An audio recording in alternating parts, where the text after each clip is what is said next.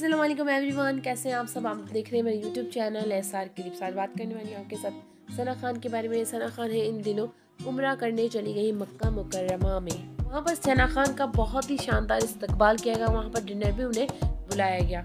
और ये चले वो वीडियो मैं आपके साथ शेयर करने वाली हूँ कि वीडियो में आगे जाने से पहले आप सबसे मेरी छोटी सी रिक्वेस्ट है, अगर आपने मेरा चैनल सब्सक्राइब नहीं किया तो बरए मेहरबानी चैनल को सब्सक्राइब कर बेल आइकन को प्रेस करें, ताकि जब भी अगर न्यू वीडियो अपलोड करो तो उसको नोटिफिकेशन बर आपको मिल सके। तो ये चलिए वो वीडियो देखते हैं।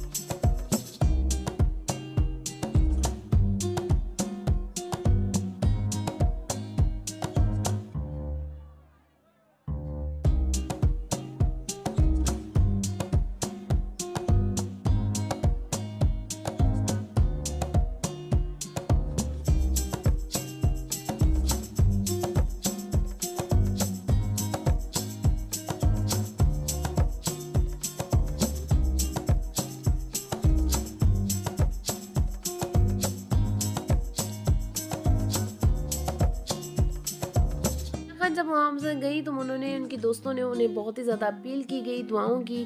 सना खान का यही कहना है, मैं वहाँ जाके अपनी हर फ्रेंड्स के लिए दुआ करूँगी उनकी दुआएँ अल्लाह ताला कबूल करेगा। तो कैसी लगी आपको मेरी आज की वीडियो उम्मीद है वीडियो पसंद आई होगी। वीडियो पसंद आए तो वीडियो को लाइक करना चैनल को सब्सक्राइब करना ना भूलेगा मिलते अगली वीडियो में, तब तक रखिएगा अपना बहुत सारा ख्याल।